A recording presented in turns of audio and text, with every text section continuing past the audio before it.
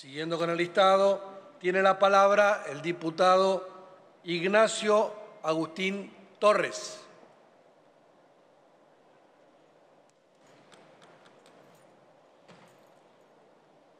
Gracias, señor presidente. En línea con la diputada preopinante, la cuestión de privilegios contra la presidencia de la Cámara por los desmanejos de las comisiones durante todo este año parlamentario, donde se ha querido dar una imagen de un Congreso dinámico que sesiona todas las semanas, pero la realidad es que las comisiones han tenido un trabajo prácticamente nulo y esto es una decisión política de la presidencia de la Cámara.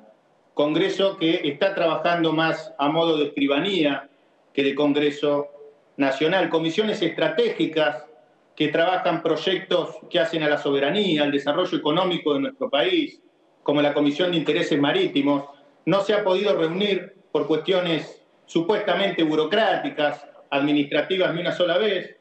La Comisión de Minería, por ejemplo, se reunió una sola vez durante todo el transcurso de este año parlamentario y paradójicamente se reunió en carácter informativo para ser vidriera de un proyecto privado de mi provincia, la provincia de Chubut, donde el secretario de Minería hizo muestra, dio muestra de las supuestas bonanzas de avanzar con la mayor celeridad posible, hizo hincapié en algo que me parece importante resaltar, hizo hincapié en la necesidad de que sea vinculante la voz de todos los actores para generar previsibilidad, para generar transparencia institucional, para generar cualquier tipo de, de, consentimiento que tenga que haber de todos los actores que son vinculantes en este sentido. Y en esa mesa multisectorial, el secretario de Minería de la Nación celebró, por ejemplo, el consenso que había generado con los distintos cultos.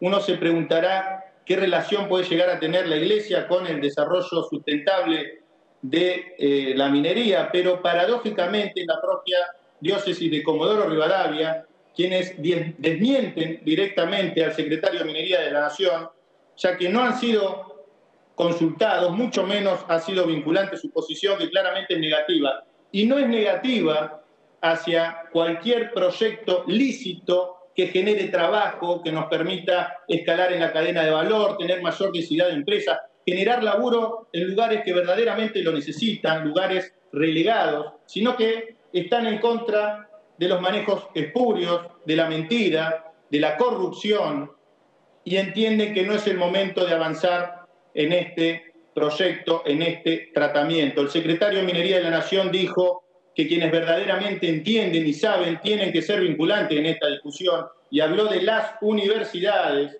habló del INTA, habló del CONICET y paradójicamente son las universidades quienes desmienten también al secretario de Minería de la Nación, ya que no han sido consultadas, no son vinculantes y se han manifestado en contra de la manera en la cual quiere avanzarse en el tratamiento del proyecto de la provincia de Chubut, provincia donde el gobierno ha tenido la posibilidad durante este último año de mostrar que quiere hacer las cosas bien.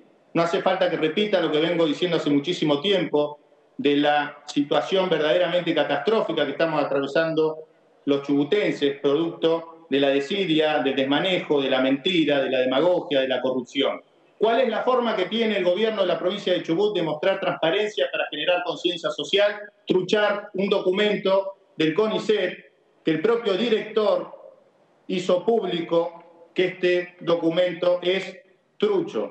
Esto está judicializado, esto lo tiene el procurador de la provincia de Chubut. Y esta es la forma que entiende el gobierno de la provincia de Chubut de que se genera consenso social. Los chubutenses no comemos vidrio, señor presidente. Para los chubutenses, que el gobernador Mariano Arcioni tenga la llave de rifar nuestros recursos es como darle al gordo valor la custodia del Banco Central de la República Argentina. Hoy el gobernador Mariano Arcioni no puede garantizar lo más mínimo indispensable, como es la seguridad, la educación, la salud en la provincia. Y lo que nosotros estamos solicitando es que se escuche a los chubutenses y queremos que las cosas se hagan bien, señor presidente. Muchas gracias. Muchas gracias, diputado Torres. La cuestión de privilegios será girada a la Comisión de Asuntos Constitucionales.